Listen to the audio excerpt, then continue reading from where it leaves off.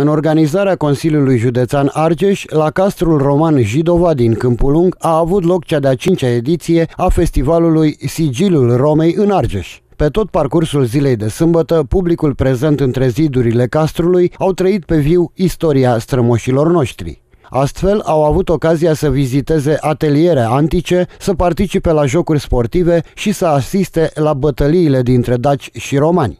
Festivalul a debutat vineri seara cu parada costumelor militare ale dacilor și romanilor sosiți din Moldova și din Sibiu.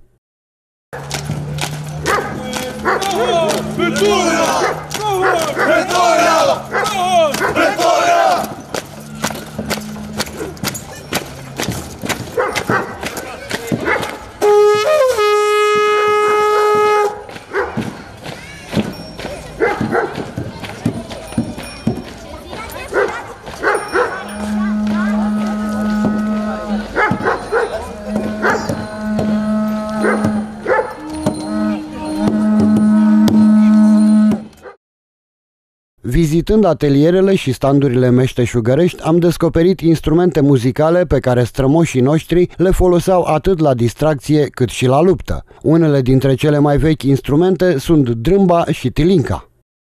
Deci drâmba este una dintre cele mai antice instrumente muzicale. Cred că prima a fost toba sau instrumentele de percuție de bătut, dar cred că oricum este printre primele 3-4 instrumente din lume. Dacii cântau la... Asta nu sunt sigur, uh, că n-am de unde să am o documentație. Unde ai învățat să Tot timpul a fost o pasiune drâmba pentru mine și am învățat prin vreo 2005 să cânta drâmbă. Și și confecționez drâmbe și instrumente muzicale tradiționale ce vedeți aici. Ce, ce avem aici? Deci avem tulnice, tulnice da. avem caval tradițional, tilincă, fluier ciobănesc Astea trei categorii de fluiere sunt cele mai reprezentative uh, fluiere tradiționale ciobănești. Ia să vedem cum sună o tilincă. Tilinca cred că este cea mai arhaică formă de, de fluier ciobănesc. Se schimbă tonalitatea din gură și doar de aici de jos.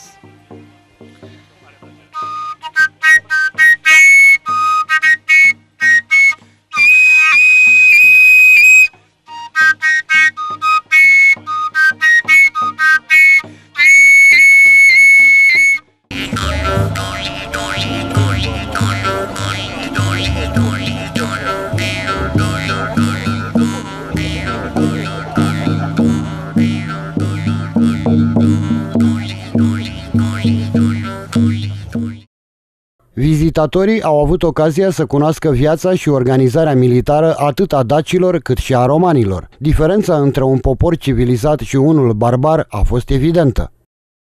Sunt uh, tribunul Tiberius Claudius Vibianus, conducătorul uh, primei cohorte pretoriene, garda personală a împăratului Romei.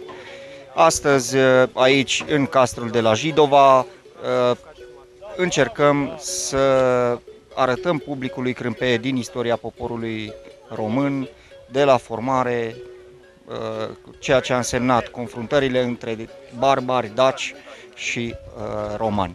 Tot ce vedeți uh, la noi este confecționat de noi în atelierele proprii, iar Textilele sunt uh, confecționate de fetele din asociație, din cadrul asociației. Ce asociație? Asociația Castrum Novis de la Sibiu.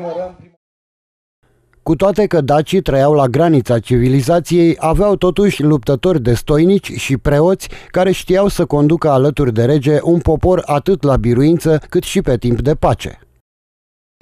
Eu ca rol care l-am, uh, am rolul primului preot al lui Zamolxis, acel preot care în o anumită perioadă, înainte de a răspândi zamolxianismul printre daci, Zamolxis uh, l-a transformat în lup și a zis, măi, uh, tu te transformi pe tine în lup, te duci pe lângă casele oamenilor, le aperi gospodăriile, te apropii de oameni, le câștigi încrederea că dacă te duce cu Biblia în mână sau cu legile religii de la bun început, lumea s-ar închide în ea, n-ar avea încredere.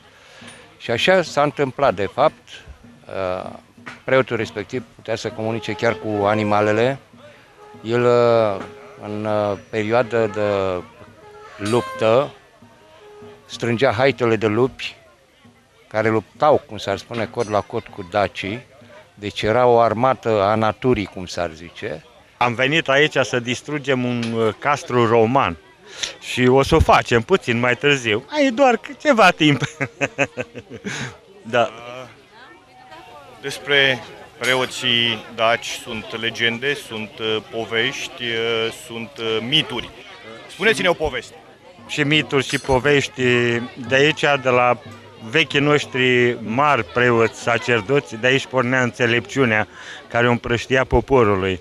Ei erau mâna dreaptă a regelui, care îl, cumva îl sprijineau în ceea ce vroia el să întreprindă. Și în lupte, nu pornea o luptă fără să aibă preoții alături să-l îndrume. Da, erau numiți regii din umbră. Cum erau ritualurile? Ritualurile Ritualurile cumva erau uh, și un pic mai sângeroase. Asta e, așa erau vremurile pe atunci. Da. Pe asta că luăm și mai târziu, chiar în una din legile Belagini, legea pare mi că 15 sau 16, se spunea așa, că cel ce ridică sabia asupra unui nevinovat sau mai ales neînarmat, de sabia lui să moară ucis, fără judecat. Faptele care s-au petrecut la expansiunea Imperiului Roman în cucerirea Daciei au fost redate prin bătălia dintre cele două armate.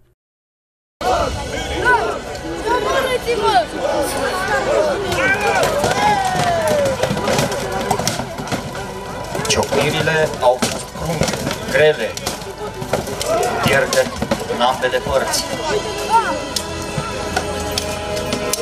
Spre surprinderea lor, romanii nu au putut să treacă de acești temuți războinici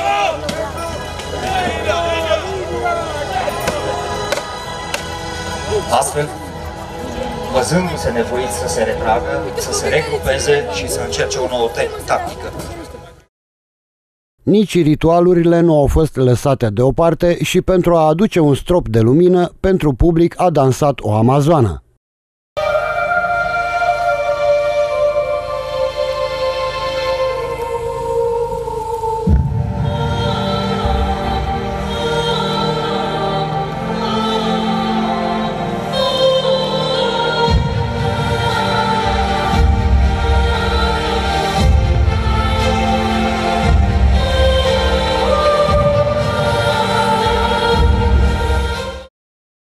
Evenimentul de la cetatea Jidova ține vie istoria, iar cei care nu au plăcerea să o descopere din cărți, o descoperă aici. Organizatorii se gândesc deja la cea de-a șasea ediție. Pregătirile se fac încă de pe acum, deoarece toate lucrurile sunt bine puse la punct, începând cu scenariul, găsirea artiștilor și a societăților care se implică în astfel de reconstituiri istorice.